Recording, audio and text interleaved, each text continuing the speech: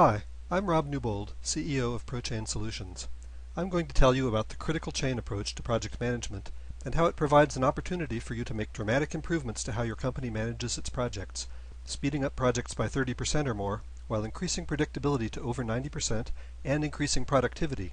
All this while dramatically reducing stress, errors, and wasted time. There are two reasons this level of improvement is possible. The first is due to a common project management approach that I call deadline management. The second is multitasking. Most of us are very caught up in deadline management, whether we realize it or not. We're very conscious of dates and we schedule many things to happen at specific dates and times. Here's a typical week's calendar. Everything is scheduled in detail. We constantly think in terms of events and times. Often we don't even distinguish between real deadlines or just nice to have dates. This also carries into our project work. We communicate with dates. Consider how deadlines work in a project. Suppose your project team has a whole set of different tasks that need to be worked. Each of these boxes represents a task. Some tasks must be completed before others can be started. We represent these dependencies with lines. And the customer generally wants to know the date the project will be finished, the final deadline. In order to make sure the project finishes by that date, we add some intermediate deadlines, maybe a few, maybe a lot. When everyone hits their deadlines on time, the project is on time. Voila. Unfortunately, when we dig down to the individual task level, we find a basic problem with deadline management. We have to hold people who own the work accountable for meeting those deadlines. But since there is variation in how long things take, people have to add safety time to their commitments. A task that takes two weeks on average might take four in reality, so if you estimate two weeks, you're sometimes going to be wrong.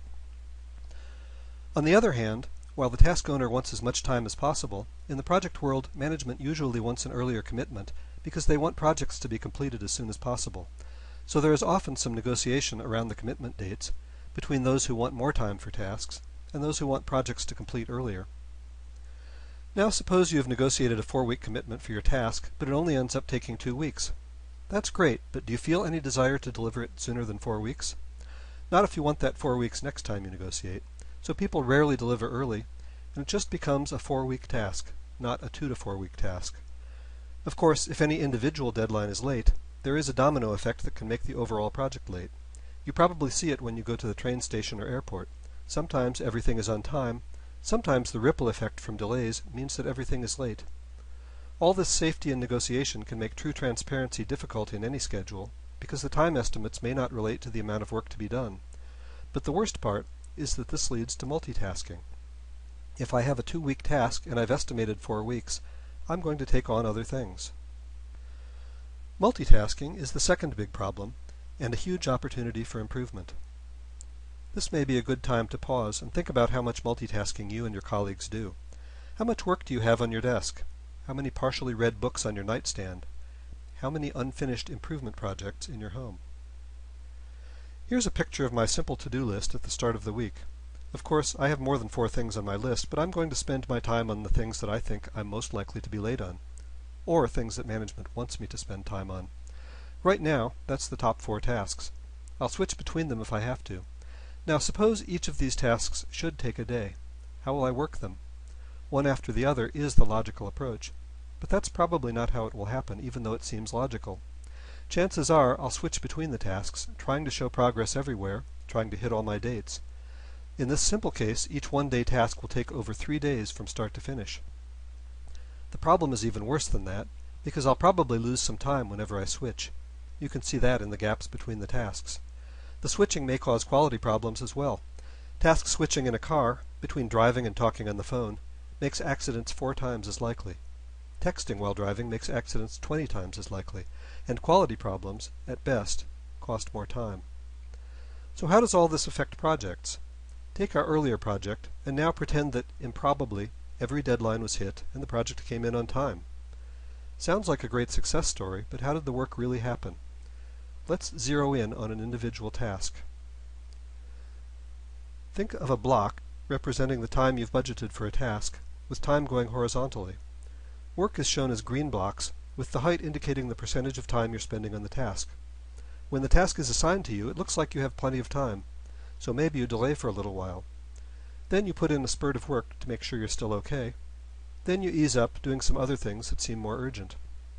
Finally, realizing the schedule is tight, you start working full time, maybe also putting in some evening or weekend time. Of course, this is happening with every task in the project, as shown in this picture. That means there's a lot of dead time where the purple shows through. Things wait around.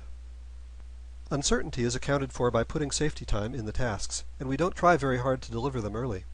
We can't tell what the real priorities are, because the critical path is almost meaningless. It depends on how we multitask and how work is assigned. And the multitasking guarantees a significant amount of lost productivity. Altogether, this is really bad news for your projects. If we can compress this picture, reducing or removing the time things sit around, we can gain phenomenal improvements in speed and productivity. But in order to get there, we have to change two things. No surprise, the deadline management and the multitasking. But starting with deadline management and multitasking, how do we make things better? To understand that, let's summarize how deadline management can help or hurt us when we try to excel. First, what do I mean by excelling? Meeting commitments very quickly and reliably without burning people out. Deadlines can help. For example, they create urgency. There's nothing like an immediate deadline to get people focused. They do also create priorities through dates, and the management rule is simple if brutal. We can pack in as many things as we like as long as everyone hits their deadlines. You might also claim it's a good thing that the system already exists, because you don't have to risk making things worse by changing how people work. But there are also a few big negatives. First of all, the urgency is only at the deadline level, and relative urgency tends to be based on deadline dates. If we compare the full project picture with the timeline we're managing to, all we see in the deadline world is a lot of individual deadlines. Second, people put in safety time, which leads them to multitask. And third, the multitasking and deadlines add to the uncertainty. We don't know when people are going to be doing what. This leads us to the three basic elements of our critical chain management system. First, it has to show us the relative urgency of tasks and projects in a way that's globally focused. We want to consider the entire portfolio, but also take into account what we know about the projects and the individual tasks. Second, it has to create clear, stable priorities that allow us to focus, especially on those few things that are globally important. Some projects are most important, and in each project it must be crystal clear which tasks are critical. If your priorities are clear and stable, it's much harder to multitask. Third and finally, the system has to embody a change in culture from thinking in terms of dates and deadlines to thinking in terms of a relay race where the people with the batons are running as fast as possible. We'll talk about each of these three elements in the next sections. Going back to the first element, let's build a system that gives a global picture of urgency. To start, we'll need to get rid of the deadlines. We'll also need to take the safety time out of individual task estimates. This is the picture we want to end up with. But the problem here is the customer is not protected from the very real uncertainty that we have to deal with. Things do go wrong. So we'll give some of the protection back to protect the overall project in the form of a project buffer, represented here by a box at the end. By removing safety time from the tasks, we're saying it's okay for people to be late on their tasks. The tasks do not have safety to protect a date, the safety is owned by the project. It's also okay for tasks to be early. We want as soon as possible, whether that's earlier or later than we predicted. This project buffer becomes a kind of shock absorber that protects the customer from disruptions. Of course, when we give a commitment date to the customer, it will be the end of the buffer. Let's see how the buffer works with a simple example. Suppose we have just created a very simple project plan. The three tasks must be worked in sequence, and we have a buffer at the end to protect our customer commitment. Over the first couple of weeks, time goes by, but less than one week of work is accomplished, as shown by the horizontal black line. What happens? The work is pushed out, which then overlaps the buffer. That overlap represents the buffer consumption. We've used up some of our project's safety time.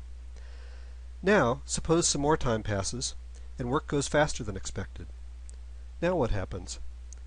This time, when we adjust the schedule, we recover some buffer time. Here's a chart we use to track buffer consumption. The vertical dimension is percentage of the buffer consumed. The horizontal dimension is percent of the project completed. So vertically we can see how much safety we have left. Horizontally, how much of the project has been done. All projects should start with a data point in the lower left. Nothing completed, no buffer consumed. Once again, we do some work and consume some buffer. Now we get a new data point on the fever chart, showing some buffer consumption along with some progress on the project. When we recover buffer, as before, the next data point will go down. The fever chart gives a graphical view of progress on the project. Project level urgency can be seen in the regions of the fever chart. The red zone indicates that there isn't much buffer left. When the project gets into the red, senior management may start asking questions about the buffer recovery plans and looking for ways to help. The buffer also gives an idea of what's important. A small change in buffer consumption, say a task being a couple of days late, may not make much difference and shouldn't provoke a big reaction. A big change could indicate real problems. Here's another kind of fever chart that allows you to look at all the projects in your portfolio at once. The dimensions are the same as for the individual project fever chart. You can zoom into the status of individual projects and look at the most important tasks for that project. Notice that globally, management attention should only be focused in a few places, the red projects. Just as important, management attention is not needed in the other areas. This picture ties together the global situation, from the portfolio to the individual tasks and resources. So far, we've talked about the first part of the solution, global urgency. The second part of the solution is to use these same project schedules to set clear priorities for all workers, both within and across projects.